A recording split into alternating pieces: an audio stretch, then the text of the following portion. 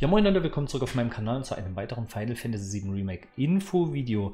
Ähm, ich dachte eigentlich, dass vor der E3 keine weiteren Informationen durchsickern. Der State of the Play Trailer kam ja erst vor kurzem raus, habe ich euch gezeigt, kann ich euch hier gerne nochmal verlinken. Den habe ich auch nochmal auseinandergenommen in einem extra Video. Äh, kann ich euch auch hier nochmal verlinken, wer das noch nicht gesehen hat. Äh, auf was will ich hinaus? Auf Reddit hat eine unbekannte Quelle was gepostet, was kurze Zeit später aber schon wieder gelöscht wurde. Äh, ein anderer Nutzer hat aber die Informationen ganz schnell kopiert und die wurden im Internet veröffentlicht. Da sind viele Informationen dabei, die sehr, sehr interessant sind. Ähm, die Infos sind natürlich mit Vorsicht zu genießen. Äh, bei Leaks ist es immer so, da kann das eine oder andere nur eine Halbwahrheit sein. Äh, da ich aber sehr, sehr vertraut mit Final Fantasy VII bin, klingen die meisten Sachen sehr, sehr plausibel. Äh, fangen wir direkt mal mit den allerersten Infos an. Erste Information ist gleich sehr, sehr interessant, wie ich finde. Es hieß eigentlich, dass das Spiel in drei Episoden kommt. Äh, laut dem Reddit-Nutzer soll das Spiel jetzt in zwei und nicht in drei Episoden kommen, was ich sehr, sehr interessant finde. Es steht auch schon fest, an welcher Stelle die erste Episode storytechnisch endet. Ähm, Achtung, äh, für alle Leute, die das Spiel nicht kennen und keinen Spoiler wollen, äh, die warne ich gleich vor, wann sie besser mal kurz 20, 30 Sekunden vorspulen sollten. Oder ähm, ich warne den Spoiler vor, ihr haltet euch wegen mir äh, die Ohren zu und ich blende dann kurz so ein Spoiler-Ende Banner ein, damit ihr wisst, wann ihr wieder zuhören könnt. Das ist nämlich ein sehr, eine sehr interessante Stelle. Ich werde sicherheitshalber aber auch keinen Namen in, der, in dem Spoiler jetzt nennen, äh, falls der ein oder andere vercheckt, jetzt doch wegzuschalten. Ähm, also Achtung, Spoiler geht jetzt los. Ähm, die erste Episode soll dort enden, wo einer der Hauptcharaktere stirbt und dann von Cloud quasi ins Wasser gelassen wird und dann in den Tiefen vom Wasser verschwindet. Äh, die ganzen Insider unter euch kennen die Stelle, muss ich nichts weiter zu sagen. Wie gesagt, den Namen des Charakters, der da drauf geht, den werde ich jetzt hier nicht erwähnen. Spoiler Ende, Banner hier. Ähm, ja, das ist schon Info Nummer 1 gewesen. Wenn wir jetzt mal davon ausgehen, wo die erste Episode endet, das ist schon sehr, sehr weit fortgeschritten in der Story, wie ich finde. Also kann man davon ausgehen, dass die erste Episode echt verdammt lang sein wird. Übrigens äh, soll jede Episode um die 60 Dollar kosten. Äh, in dem Post, ich werde übrigens die Quelle im Video, in der Videobeschreibung verlinken. Da ist die Rede von jede Episode mega teuer. Bullshit kostet genauso wie ein ganzes vollwertiges Spiel. Soll auch inhaltlich so viel sein wie ein ganzes Spiel. Ähm, Nächste Information ist gleich der absolute Hammer, wie ich finde. Die E3 startet ja am 11. Juni, ist quasi jetzt noch drei Wochen hin, nicht ganz drei Wochen. Da soll es eine spielbare Demo geben und jetzt kommt der absolute Knaller. Ähm, kurz nachdem die E3 vorbei sein soll, soll diese spielbare Demo im PSN Store erhältlich sein, aber nur für PSN Plus Mitglieder. Sollte nicht allzu kompliziert sein, sich eine PSN Plus Mitgliedschaft zu besorgen. Wie das für die Xbox äh, ist, weiß ich leider nicht oder PC. Äh, ich habe auch keine Ahnung, ob das ein PS4 Exklusivtitel werden soll. Ähm, Jetzt kommt eine Vermutung von mir, die äh, im Reddit nicht drin stand. Wenn ich jetzt davon ausgehe, dass kurz danach nach der E3 eine spielbare Demo kommen soll, dann kann ich mir nicht vorstellen, dass das Spiel erst Ende 2020 kommen soll. Also, wer mein letztes Infovideo, wo ich so ein bisschen äh, Smalltalk über das gesamte Spiel gehalten habe, nicht gesehen habe und meine Vermutungen, dass das Spiel Ende des Jahres nämlich kommen soll, weil Square Enix einen Rekordumsatz hervor hervor. Äh, Square Enix hat einen Rekordumsatz vorausgesagt. Das sind die richtigen Worte für Ende diesen Jahres. Und da keine Spieltitel genannt wurden und ein unbekannter Titel es nicht sein kann, möchte ich einfach noch mal kurz drauf eingehen. Es sind sich viele einig, es kann nur Final Fantasy VII sein.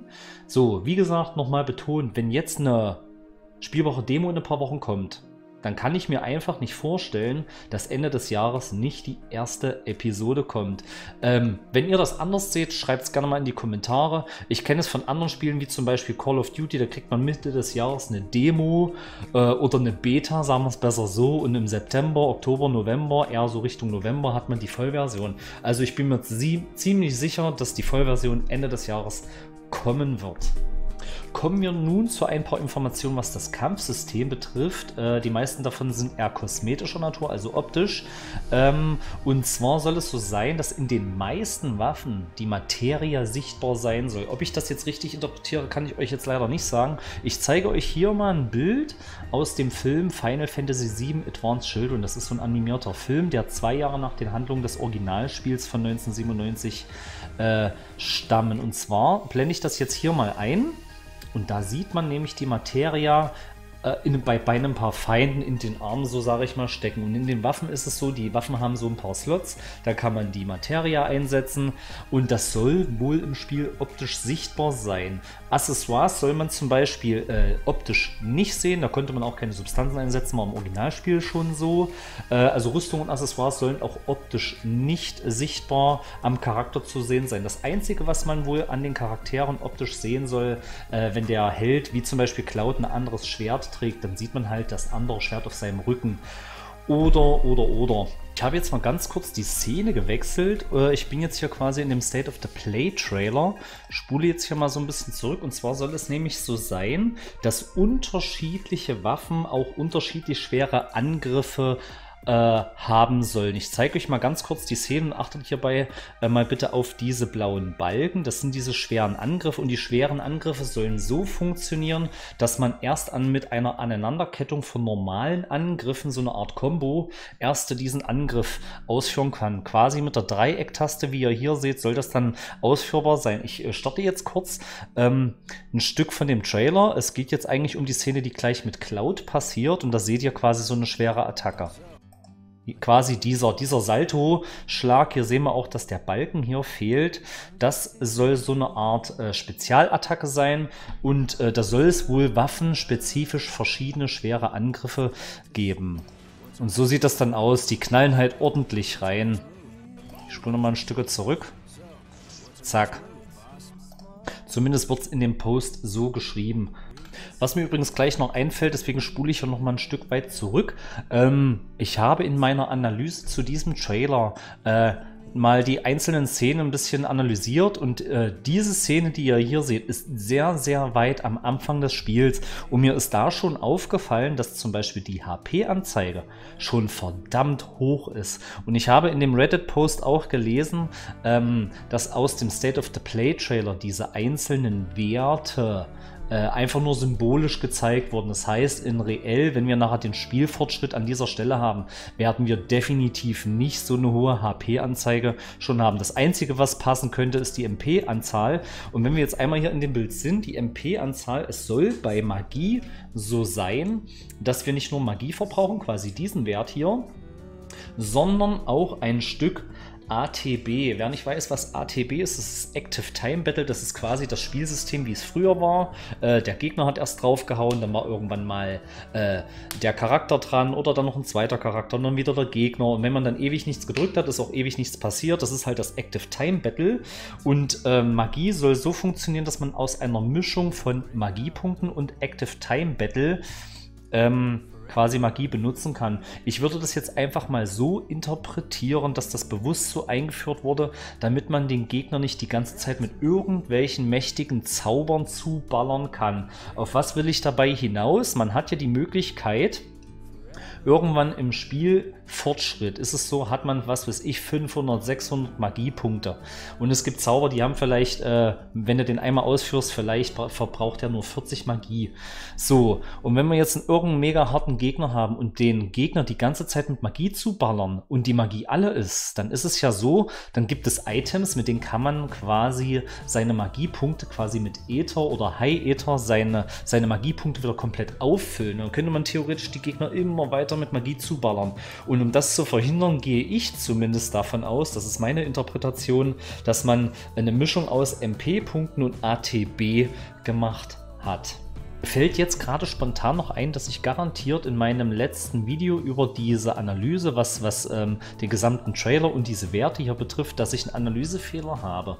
Und zwar hatte ich ja hier analysiert, was die einzelnen Werte sind. Charakternamen ist ja alles klar. Dann haben wir hier sozusagen ähm, die, äh, die Lebenspunkte, dann haben wir hier die, äh, die Lebenspunkte nochmal in Balkenform für optisch und genau dasselbe dachte ich bei der Magie. Hier hat man die Magie, der orangene Balken ist der Limit Break und ich dachte genauso wie bei den HP-Punkten äh, hier als Balken optisch dargestellt, ist das hier quasi der Balken für die MP. So, da ich jetzt aber nun gelesen habe, äh, dass die Magie eine Mischung aus Magiepunkten und ATB-Balken ist, würde ich jetzt stark behaupten, und da bin ich mir jetzt eigentlich sicher, dass dieser Balken hier quasi der ATB-Balken ist. Wenn der quasi nicht voll ist, kann ich auch keine Magie ausführen. Das ist zumindest meine Interpretation davon. Ähm, ich weiß allerdings gar nicht, ob man in dem Trailer vielleicht irgendwo den Balken mal leer sieht. Ich werde jetzt mal hier ein bisschen durch den Trailer seppen und versuche das mal hier mit reinzuschneiden, falls das so ist. Okay, also ich habe jetzt mal den kompletten Trailer nochmal äh, durchgesehen. Es gibt nirgendwo eine Stelle, wo der Balken ähm, nicht äh, komplett gefüllt ist. Also ich gehe aber fest davon aus, äh, dass die Interpretation richtig sein wird. Ähm, da ja die E3 sowieso am 11. Äh, startet und wir dann genaueres wissen, werden wir sehen, was da kommt. So, hier ist er wieder zurück, äh, weil ich jetzt gerade noch von der E3 gesprochen habe und der Demo. Also ich würde jetzt mal stark schätzen und da würde ich euch vielleicht auch bitten, ähm, schreibt gerne mal in die Kommentare, was ihr denkt. Ähm, ähm, Wenn es wirklich eine spielbare Demo gibt, würde ich behaupten, dass die Demo sofort die allererste Mission äh, im Spiel ist, wo quasi Cloud aus dem Zug rausspringt, ein paar Soldaten platt macht, bis hin zu dieser Bombenmission würde ich jetzt einfach mal behaupten. Ich sage mal, vielleicht muss man maximal noch den Skorpionswächter besiegen und danach wird die Demo wahrscheinlich vorbei sein. Könnte ich mir gut vorstellen, dass das so ist. Die Mission ist ja nicht ewig lang und ich bin schon sehr gespannt, wenn die Demo kommt, äh, wie umfangreich die sein wird. Eine weitere interessante Information habe ich noch und zwar die Beschwörungen, quasi die roten Substanzen äh, für die, die jetzt nichts mit Beschwörungen anfangen können, wie Ifrit, Shiva, Bahamut, wie sie nicht alle heißen. Ähm, es soll sich zum Original von 97 nicht sehr viel ändern. Ähm, man ruft quasi äh, die Beschwörung auf, dann kommt eine Cutscene, der äh, beschworene Charakter, Ifrit, Shiva, wie sie nicht alle heißen, attackieren den Gegner und danach verschwindet quasi die Beschwörung wieder. So soll es sein. Bei Final Fantasy X zum Beispiel war es so, äh, dass dann quasi diese beschworene Bestia, wie es da hieß, äh, an der Seite von Yu, hieß die Yuna? Yuna gekämpft hat. Äh, hier soll es genauso wie im Original sein. Das mal nebenbei noch äh, erwähnt. Eine weitere interessante Info, die die meisten von euch wahrscheinlich auch spannend finden, äh, wie die Oberwelt bzw. die Weltkarte oder die Open World äh, demnach zufolge aussehen soll. Es soll wohl tatsächlich so sein, äh, dass die Städte wie zum Beispiel Midgar am Anfang und ähm, die Außenwelt, nenne ich es jetzt einfach mal, dass das wohl ein nahtloser oder eher fließender Übergang sein soll. Man merkt quasi gar nicht, wenn man oder wenn man die Stadt verlässt, geht man quasi nahtlos in, in die Außenwelt über und äh, die soll wohl in mehrere Zonen aufgeteilt sein. Man soll zum Beispiel auch von der Ferne schon Items auf dem Boden liegen sehen und so weiter. Es soll auch wieder Transportmittel äh, geben, wie den Tiny Bronco zum Beispiel. Das ist das kleine Flugzeug, was kurz nach dem äh, Start abstürzt. Das kann man dann so als Transportmittel benutzen. Chocobos wird es auch wieder geben. Das, die muss man wohl äh, auf der Chocobo-Farm erst freischalten. Äh, ob das jetzt genauso stimmt, weiß ich allerdings nicht, ob man es erst freischalten muss oder man geht einfach rein und kauft sich so ein Vieh. Ähm, was es noch? Jetzt muss ich mal ganz kurz äh, schauen. Ähm, es soll auch so sein, dass äh, sämtliche Städte und Dörfer und Orte, die man so erkunden kann, wie zum Beispiel Nibelheim und Kalm und wie sie nicht alle heißen, äh, die sollen mit sehr viel Liebe zum Detail gestaltet worden sein. Es soll sehr viel Leben in diesen Städten sein. Jede äh, Stadt soll so ein bisschen sein eigenes Flair haben. Im Cosmo Canyon soll es zum Beispiel auch so sein, dass es da gelegentliche Sandstürme gibt. Da bin ich schon echt mal gespannt, wie das optisch sein soll. Was ich auch noch eine ganz interessante Information finde, und zwar das Shinra Hauptquartier, quasi die letzte Mission, bevor man Midgar verlässt. Ähm, das Quartier hat ja, glaube ich, über 60 Etagen, wenn ich mich jetzt nicht irre. Die Etagenzahl soll minimiert worden sein, aber ähm, die Aufgaben, die man in den einzelnen Etagen haben soll, soll dafür zum Ausgleich aber mehr sein, damit man mehr äh, spürbar zu tun hat in dem Spiel. Dann soll an den Designs der Monster ordentlich gearbeitet worden sein. Äh, davon bin ich aber von vornherein schon ausgegangen, äh, dass die Monster alle ein ordentliches Redesign bekommen, äh, was auf jeden Fall aber so sein soll, dass man das Original von, ähm, von 97 und wenn man dann nachher das Remake spielt, wenn man dann Monster sieht, soll klar erkennbar sein, ah, das ist das Monster von der und der Stelle, äh, dass man die äh, noch gut erkennen sein. Also es soll nicht, sage ich mal, so verunstaltet worden sein, dass man die Monster später nicht mehr erkennt. Und ähm, wer sich noch an den, äh, an den Zugfriedhof im Spiel erinnert, da gab es so eine Geistergegner, die sollen aus dem Spiel wohl äh, äh, weggenommen worden sein. Warum auch immer, keine Ahnung, kann ich euch nicht viel zu erzählen. Äh, Goldshauser ist natürlich auch wieder dabei, da soll es wieder jede Menge Minispiele geben, die sollen richtig, richtig gut aussehen. Wenn man das erste Mal hinkommt, äh, soll man aber nur ganz wenige davon spielen können. Und später im Verlauf der Story soll man davon alle dann irgendwann freischalten. Und die sollen eine gute Abwechslung neben der Story darstellen. Was ich auch noch sehr interessant finde, ähm, wer das Spiel innen auswendig kennt, das Original. Es gibt ja Vincent und Yuffie. Das sind zwei optionale Charaktere. Das sind quasi Charaktere, die kann man durchaus verpassen, kann man im Spiel freischalten. Ähm, und wenn man einen bestimmten Punkt überschritten hat, ist es zumindest bei Vincent so, kann man den nicht mehr freischalten. Im Remake soll es jetzt so sein, dass es ab einem bestimmten Punkt äh, dass sie sich dann automatisch der Gruppe anschließen. Spätestens ab Rocket Town soll es zum Beispiel so sein, dass Yuffie der Gruppe beitritt. Ähm, man könnte jetzt sagen, was soll diese dämliche Änderung? Das ist doch totaler Schwachsinn. Für mich, äh, da ich die Story sehr, sehr gut kenne und auch äh, den Film Advanced Children, also für alle, die den Film gesehen haben, der ja zwei Jahre nach den Geschehnissen passiert, was ich vorhin schon erwähnt habe, da sind beide Charaktere äh, auch in der Story vertreten. Deswegen macht es für mich in dem Remake nur Sinn, sie irgendwann automatisch, wenn man sie denn verpassen sollte, ins Spiel zu implementieren. Wer nicht weiß, wie man die freischaltet, könnt ihr gerne googeln. Für Yuffie kann ich es euch mal ganz kurz erzählen. Ist ein Zufallskampf. Die zu verpassen ist eigentlich fast ein Ding der Unmöglichkeit. Äh, die Zufallskämpfe waren früher immer in diesen Waldgebieten und Konnte zwar sein, wenn man die Konversation falsch geführt hat mit ihr, dann haut sie ab, dann sieht man sie nie wieder, aber im Zweifelsfall hat man sie wenigstens einmal gesehen. Vincent, den kann man in Nibelheim äh, in so einer Kellerpassage bekommen. Den kann man aber schon eher verpassen, weil man, glaube ich, für den Keller einen Schlüssel braucht. Da weiß ich jetzt aber leider nicht mehr ganz so genau. Jetzt gibt es noch eine, äh, eine, kleine Sache, die eigentlich eher nicht so interessant ist. Ähm, und zwar die Stelle, wo Cloud und Tifa Aris aus diesem Puff befreien müssen. Quasi von, wie hieß er doch gleich, Don Corleone quasi der Pornostar oder der Zuhälter aus Final Fantasy VII.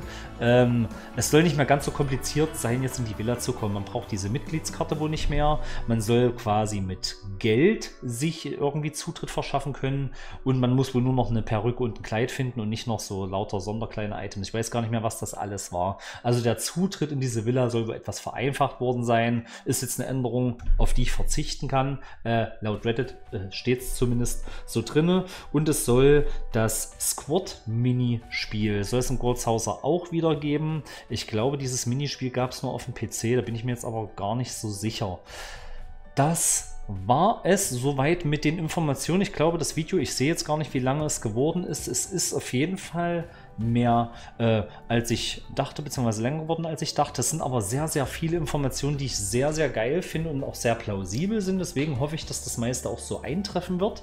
Äh, schreibt mir bitte gerne in die Kommentare, was ihr von dem ganzen Spaß haltet. Freut ihr euch genauso auf die Demo wie ich? Und übrigens, wenn die Demo rauskommt, könnt ihr euch sicher sein, dass ich definitiv davon mindestens ein Video machen werde. Ich werde zwar keinen Livestream darüber machen, weil das Käse ist. Ich werde ein Let's Play machen, vielleicht auch zwei oder drei, je nachdem, wie lange die Demo sein wird. Jetzt bleibt mir eigentlich nur noch zu sagen, an alle da draußen, die mich noch nicht abonniert haben, und von Final Fantasy VII, dem Remake, nichts verpassen wollen, abonniert den Kanal, ihr werdet regelmäßig von mir auf dem Laufenden gehalten. Ich spiele auch Apex Legends und Call of Duty, wem das auch ein äh, bisschen Freude bereitet, seid ihr bei mir genau richtig. Jedenfalls versuche ich immer, so gut es geht, up-to-date zu sein. Ähm, Jetzt bleibt nur noch zu sagen, lasst bitte den Video einen Daumen hoch, würde ich mich sehr, sehr drüber freuen, um mir zu zeigen, dass ich da ganz geile Arbeit geleistet habe. Ich wünsche euch noch ein schönes Restwochenende. Macht's gut, bis zum nächsten Mal. Haut rein.